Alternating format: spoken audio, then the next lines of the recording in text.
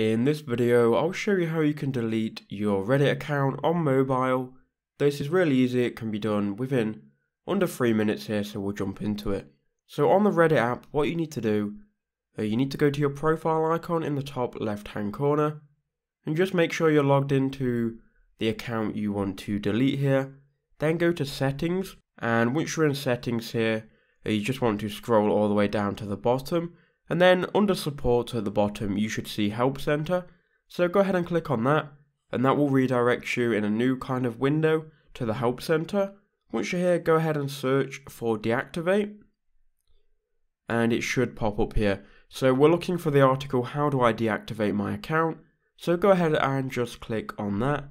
Then scroll down and if you keep scrolling down, you'll see on old.reddit.com what we can do now is we can click on the first link, so visit the deactivate tab, just click on the deactivate hyperlink, and that will redirect you to a new window where you can just simply deactivate your account. A couple of things to note when you're deactivating your account though.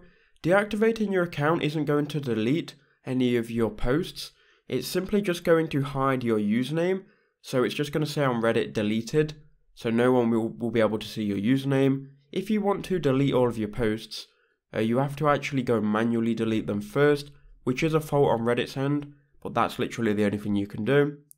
Then enter in your account credentials, your password, confirm that you understand that this is not recoverable, then click deactivate account, and then your Reddit account will simply be deleted.